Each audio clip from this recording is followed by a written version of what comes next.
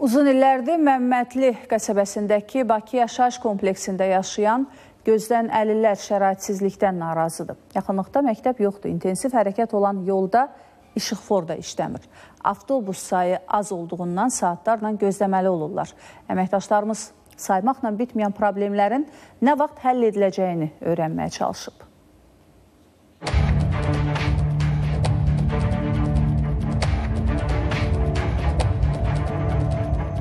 Başlayaq gözdən əlilləri ən çox narahat edən işıqfor problemindən. Sakinlər deyir ki, müraciətlərindən sonra ötən ilin yay aylarında yaşadıkları yaşayış kompleksi yaxınlığındakı əraziyə işıqfor quraşdırılıb. Amma o vaxtdan bu vaxta bu işıqforun işıqları bir dəfədə olsun belə yanmayıb.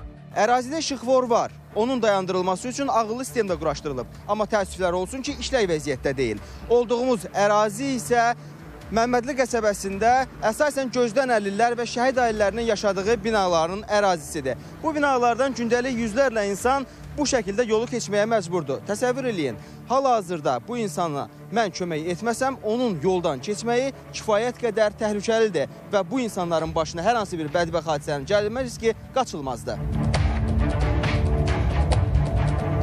Svetoforun olmaması bizim üçün, işləməməsi bizim üçün çox biz e, çətinliklər yaradır ki, yol keçmək barəsində.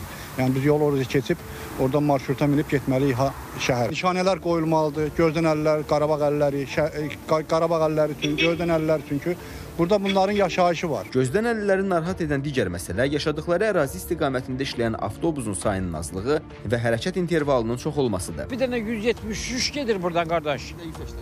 100, bir də 185. 185 heç vəbşi Koroğluya getmir. Əsas gözdən əllərin idarəsi, klubu, kitabxanası, məktəbi, Korlar məktəbi hamısı Gənclik Nərimanovda yerləşir. Bir dənə marşrut buradan açsınlar, nə olar?